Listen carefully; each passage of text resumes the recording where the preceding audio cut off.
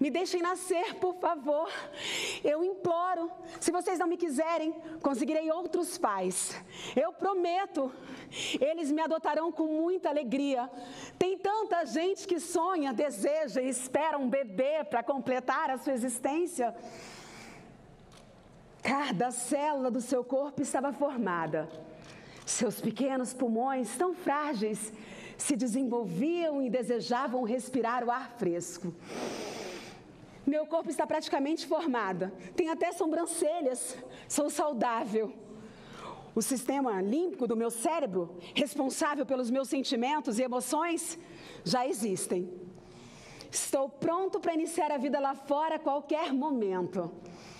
Desejo nascer. Sinto muito que me receberá. Será? Será que é isso mesmo? Que vão antecipar o meu parto? A ameaça persistia. Não! Não acredito! Essa injeção! Essa agulha! Não! Quero continuar vivo! Vai doer, eu sei! Vai doer muito! Não façam isso! Vocês também vão sofrer! Por Deus, eu imploro! Ainda é possível! No instante final, um grito silencioso ecoou dentro daquela barriga.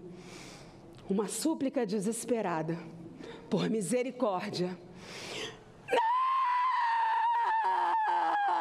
Não!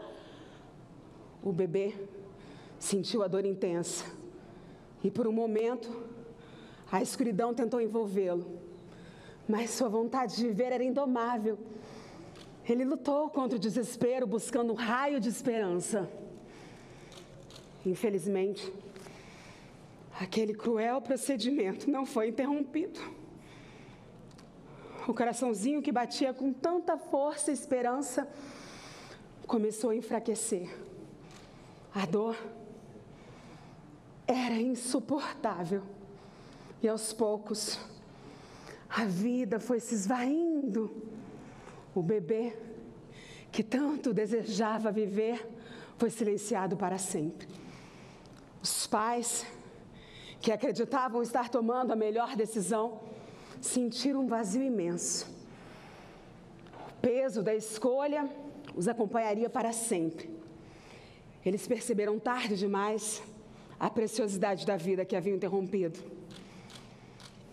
A história do pequeno ser humano, frágil, indefeso, que lutou até o último momento, cuja vida foi tirada antes mesmo de começar, ecoou como um poderoso lembrete da fragilidade, do valor inestimável da vida.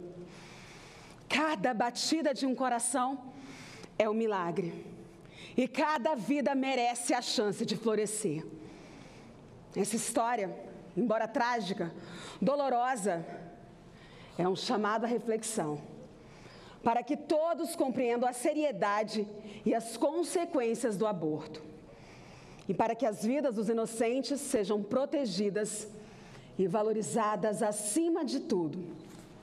E é para isso que o senador Girão luta e trabalha. Eu sou Niede Genari, contadora de histórias.